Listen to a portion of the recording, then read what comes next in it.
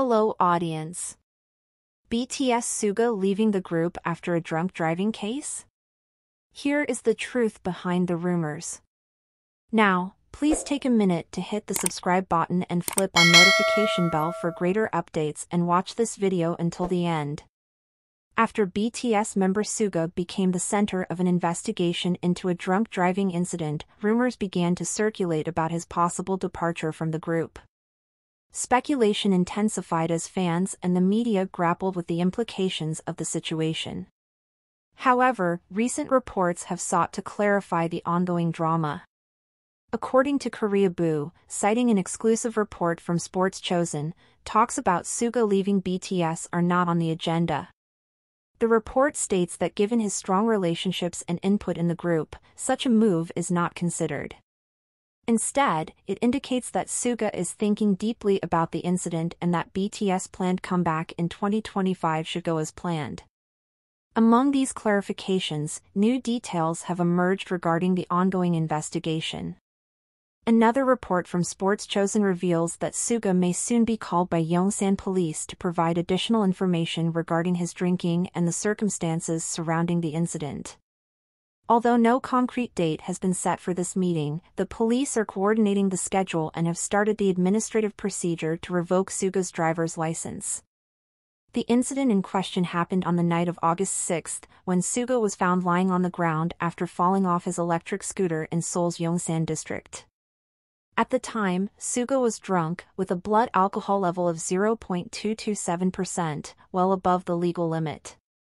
In the process, Suga and BTS agency Big Hit Music apologized to fans via Weverse. Suga, who is currently serving as a social service officer, a form of alternative military service in South Korea, accepted the police termination and the revocation of his license. As the investigation continues, Suga faces a criminal investigation similar to a car-related DUI, as his electric scooter was classified as a motorcycle by the city police. The situation continues to evolve, and the extent of its impact on Suga's future and BTS's business remains to be seen. After BTS member Suga was investigated for drunk driving, many rumors began to circulate about him, including the singer-rapper leaving the group. However, Koreaboo, citing a Sports Chosun report, said that Suga's departure from the group is not being discussed. According to the report, given the dynamics of the BTS group, the decision to remove Suga from the group is not on the agenda. The report also said that Suga was deeply thinking about this incident. He also says that the return of BTS in 2025 after the military members have been demobilized is unlikely to be discouraged. According to another report from Sports Chosun, Suga may be called to the police station as part of the investigation.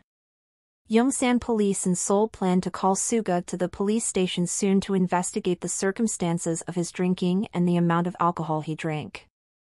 The date has not yet been set because it requires mutual coordination and Suga has not received a court appearance request from the police. The police have started administrative proceedings to revoke Suga's driver's license.